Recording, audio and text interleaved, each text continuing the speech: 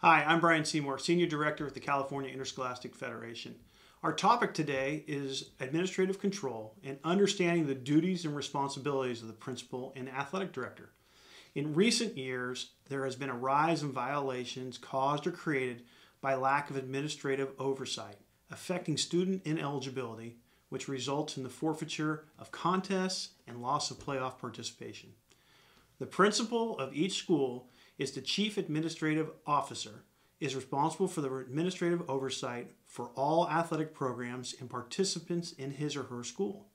Principals, ADs, and coaches are all responsible to ensure that all of their student athletes meet all of the eligibility standards before they go on the field, court, gym, mat, or in the pool. At no time under any circumstances is an ineligible athlete allowed to compete. CIF Bylaw 22B8 states as a condition of membership, schools agree to monitor its athletic program and to self report to the appropriate governing body any violations of state and section bylaws as soon as the school is aware of possible violations.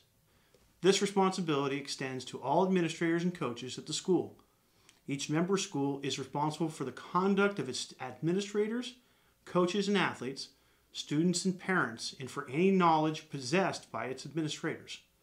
The pol- political issues faced when you have to forfeit games due to playing an ineligible player are overwhelming. Your local section office and the state CIF are available to assist you to make sure that your school stays out of those political firestorms.